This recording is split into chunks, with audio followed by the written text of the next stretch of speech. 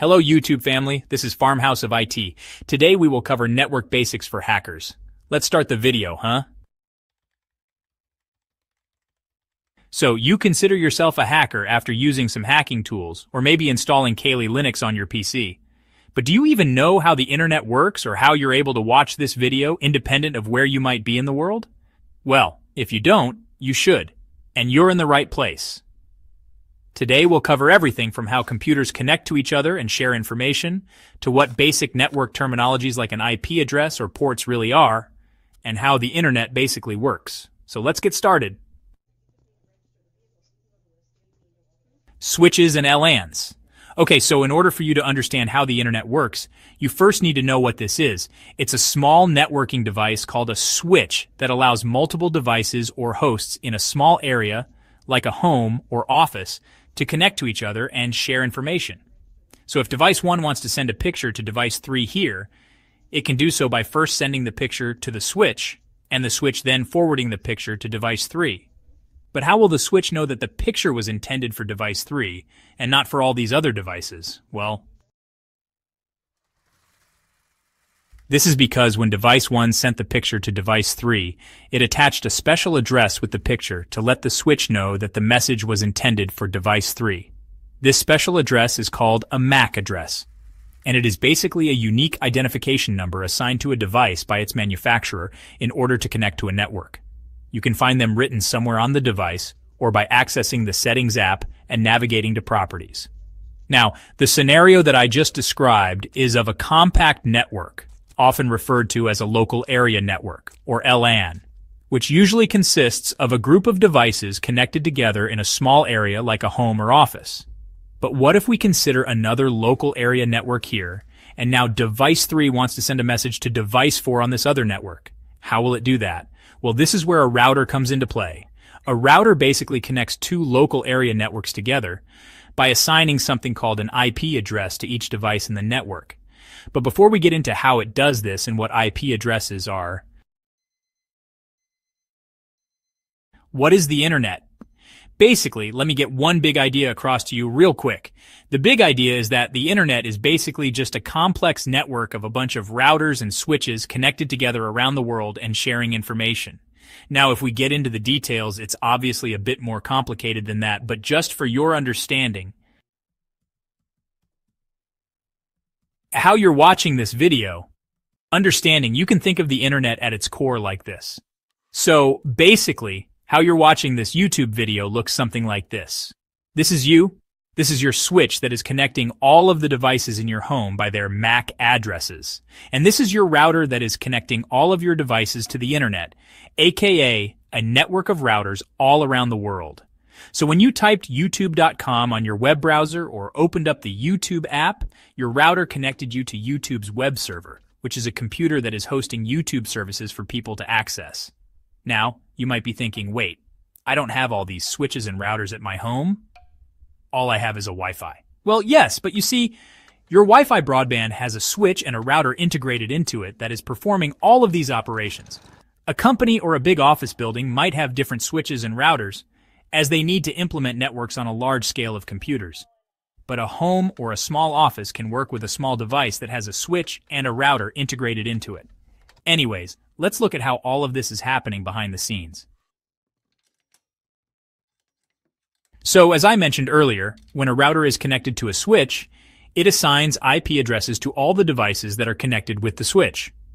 Now, how it does this is through a protocol known as DHCP, or the Dynamic Host Configuration Protocol. These IP addresses are basically private. They are only used for identification within the local network and are not accessible from outside the network or over the internet. But if these IPs are not accessible over the internet, then how are all the devices in homes and offices connected to the internet? Well, this is because the router they're connected to basically has a public IP address that is shared with all the devices within the network and is accessible over the internet.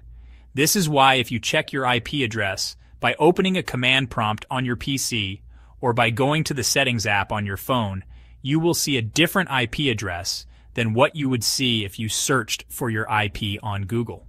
The one you'll see on Google is the public IP address of your router that is provided by your internet service provider and is unique in the whole world. So when we're talking about hiding our location using an IP address, we're talking about the public IP address of our router that it shares with all of the devices in our network. But why do we share one IP address across all of our devices? Why can't every device in our network have a unique IP address that is accessible over the internet? Well, this is because we basically ran out of IP addresses to give to billions of devices across the internet. And this is the solution we came up with. Instead of giving every device in a home or office a unique IP address, we gave the routers a unique IP instead. Now, as a side note, this solution also came to an end, and we encountered another shortage of IP addresses. But we'll discuss this topic in the upcoming videos. For now, just know that due to this shortage, a new kind of IP address was developed called IPv6 addresses. And they look something like this. These IPs are now mostly used by cell phone carriers, and if you turn on your mobile data to check your IP, you'll likely see an IPv6 address. Anyways, coming back to the topic,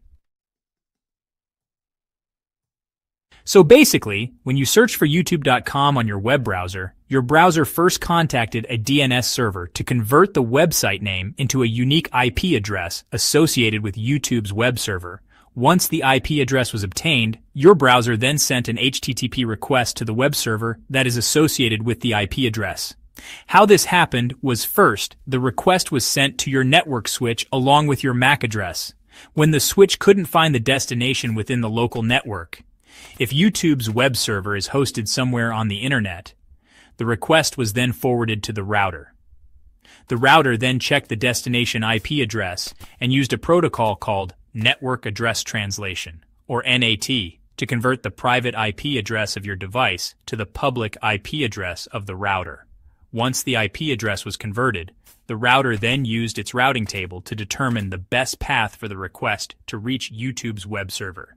And once the best path for the data to travel had been determined, the router then sent the request to YouTube's web server. Now, to understand what ports are, you can think of an IP address as the primary address of a building, and a port is a subaddress or apartment number of the building. While an IP address will get you to the right building or the right machine, a port will take you to the correct apartment or the correct service you're looking for. Each port on a computer is assigned a specific number, and it ensures that multiple programs on a computer can send and receive data without all of them getting mixed up. Anyways, once YouTube's web server replied with a response back to your router, your router sent the response back to you. Now this was just a high-level view of how you're able to watch this YouTube video independent of where you are in the world. But if you're still curious about learning more and exploring how this magic happens in the form of pixels that you can see on your screen, you can search the internet for what is a TCP IP model and how it works to get your concepts crystal clear. Anyway, guys, so this was it for the video. Now, if you would like to scan your home network and get a hands-on experience of all these things that we went over, I would highly recommend checking out this video where I cover a popular cybersecurity tool called Nmap that is used by hackers and pen testers to scan and gather information about a network. In the next part of this video, we'll dive deeper and take a look at different networking models, so stay tuned for that. Thank you for watching.